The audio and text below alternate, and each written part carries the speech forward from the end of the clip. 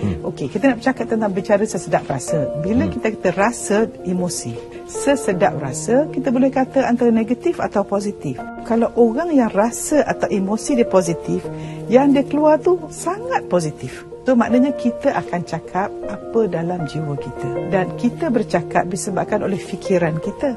So kalau fikiran negatif, rasa kita negatif, tindakan yakni berbicara atau taipan di Facebook kita akan negatif. Maka hasil kita negatif.